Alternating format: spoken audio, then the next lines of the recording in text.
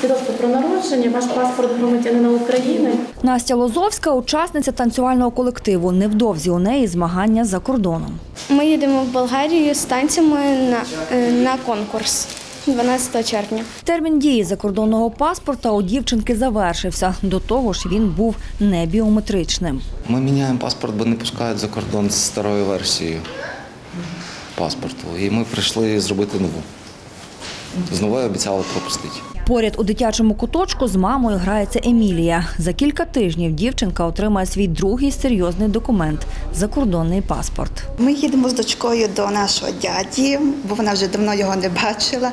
Хочемо поїхати в Польщу, в Варшаву хочемо. Загалом нині кількість охочих зробити своїй дитині документ для виїзду за кордон зросла, кажуть в управлінні міграційної служби в області. З трьох десятків заяв на виготовлення паспортів, які оформляють тут щоденно, більшість дитячі. Зумовлено е, частими відпочинками за кордон, власне, е, сімейними туризм, е, фестивалі, конкурси за межами України.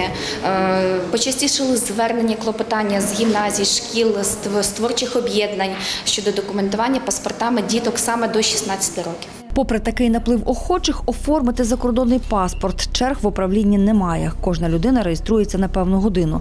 Це можна зробити самотужки онлайн, так і з допомогою в міграційній службі. Перелік документів не змінився. До 14-річного віку то власне свідоцтво про народження дитини, паспорт одного з батьків, присутність одного з батьків, ну і дитинка.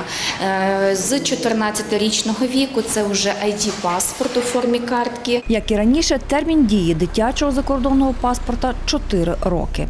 Ірина Василовська, Назар Мідріган. Новини на Суспільному.